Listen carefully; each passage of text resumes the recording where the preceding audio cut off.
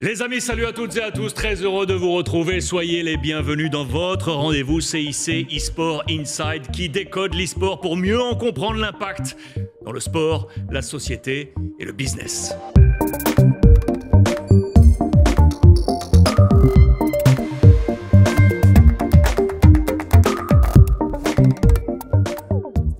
À mes côtés, comme d'habitude, mon compère, il est toujours là, obligatoire, Monsieur Bertrand Amar. Salut Bertrand. Salut Alex, ça va bien? Magnifique. Également, également.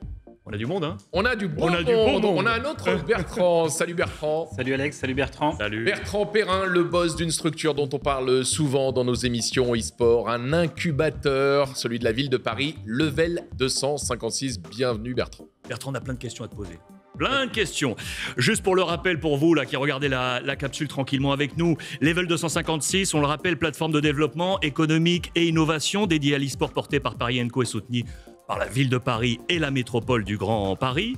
Euh, lancé en 2018, je me trompe pas sur les, sur les dates. C'est ça. Maison de l'e-sport inaugurée en février 2020, ça fait déjà deux ans. Est-ce que tu peux nous rappeler pour tous les kidam quelles sont les entreprises abritées? Ouais, totalement. Euh, depuis la création, c'est 42 entreprises accompagnées par Level euh, Paris Co. diverses sur les typologies d'innovation et entreprises. On parle d'entrepreneurs justement parce qu'on a des startups en tant que telles avec des innovations sur le fan engagement, sur euh, la monétisation des audiences, sur des typologies d'innovation pure et dure, et après des entrepreneurs qui sont plutôt des PME du secteur de l'e-sport, qui ont déjà un, chiffre d'affaires conséquent et moins d'innovation, mais sur des acteurs vous connaissez. Euh, je parle d'OTP notamment, qui opère la LFL avec vous, et euh, un certain nombre d'acteurs, Gozulting, euh, Breakflip, il y en a plusieurs. Donc deux typologies d'entrepreneurs. Ah, et c'est vrai qu'on bosse euh, beaucoup avec euh, certaines des, des startups euh, incubées chez euh, Level 256. Selon les derniers chiffres, Bertrand, de l'Observatoire CIC eSport Harris Interactive, eh bien, les marques, les grandes marques qui s'associent à l'e-sport véhiculent des images très positives, puisque pour 72% des sondés, ces marques qui s'associent à l'e-sport sont proches des gens, et pour 82%, euh, elles sont différentes, originales. Est-ce que toi, depuis que tu es à la tête de Level 256, de, depuis 2018, tu vois justement euh, cet intérêt grandissant des marques, euh, des grandes marques, euh, et pas seulement des, marques endémiques au secteur du jeu vidéo ou, du monde des- des PC. Quoi. Voilà, bien observé. Tu vois, quand on a été créé sur le projet, c'est un partenariat privé-public avec la ville de Paris, la métropole, des acteurs comme la BPI ou la Caisse des dépôts, mais aussi des acteurs privés. Rapidement, on a des acteurs qui sont venus comme euh, la FDJ, EDF, mais qui étaient un peu, euh, euh, à l'origine, un peu innovants, justement, c'était nouveau pour des grandes marques. Et depuis 4 ans, on a une montée euh, importante. On a vu des marques de luxe, de l'automobile, euh, du- de l'alimentaire. Toutes les typologies de, de- de grandes marques viennent. Celles qui ne viennent pas, c'est une erreur, de mon sens. Elles auraient intérêt à y aller parce que quand tu vois l'engouement euh, des fans, euh, j'avais un chiffre même qui était aussi sur ce côté, il y a 90% des fans qui retiennent le nom de la marque qui s'associe à un événement e-sport. Ça veut dire qu'en termes de pénétration, c'est très très important. Et tu le vois, on a encore des partenaires, nous, FDJ ou GL Events, qui sont à nos côtés pour accompagner la maison de l'e-sport et les entrepreneurs. Il y a une très belle aura de la part des entrepreneurs et des acteurs avec qui ils ont plaisir à travailler et ce sont des marques qu'ils connaissent. On, voulait que tu nous parles euh, aussi de la notion de grand chantier, ce travail avec la, ville, de, Paris. Où est-ce qu'on en est de ces grands chantiers? Et je pense notamment, enfin, aux réunions physiques. Enfin, on peut se, retrouver. On a en tête la construction de, de grandes salles. Et principalement, on pense à, l'Arena 2.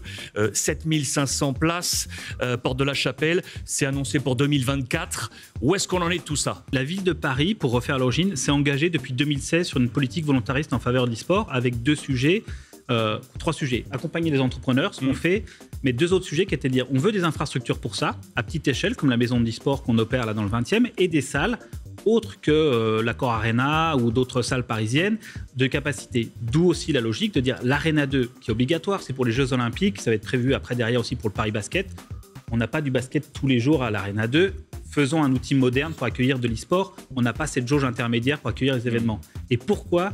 Parce que la ville de Paris est- a très envie d'accueillir des grands événements internationaux tous les ans. On l'a vu dernièrement, il y a des annonces du président de la République, il y avait eu des annonces de la ville de Paris pour dire on veut des Wars comme on l'a eu en 2019 à Paris, sur lequel on a travaillé la ville et Level 256 pour faire un bel événement, comme on pourrait avoir des majors, comme on pourrait avoir euh, du TI et plein d'autres événements. Et pour ça, il faut des infrastructures techniques, l'Arena 2 répondra bien, et des expertises comme le font aussi Level 256 pour accompagner euh, les organisateurs. Alors parmi les euh, startups incubées chez Level 256, euh, plusieurs ont déjà été euh, récompensés lors des CIC Sport Business Awards, dès la première édition d'ailleurs avec MCES. On est ravi d'annoncer que désormais Level 256 et les CIC Sport Business Awards sont partenaires, main dans la main. On te retrouvera donc pour la cérémonie au mois de novembre. On compte sur toi Ouais, bien sûr, bien sûr. Et eh ben génial, on se voit en novembre avec toi aussi, Alex. Magnifique, on sera là, bien présent. Merci messieurs, merci. Merci, à toi, merci à vous. À bientôt. Et merci à vous tous. On se retrouve pour un prochain épisode de votre CIC eSport Inside.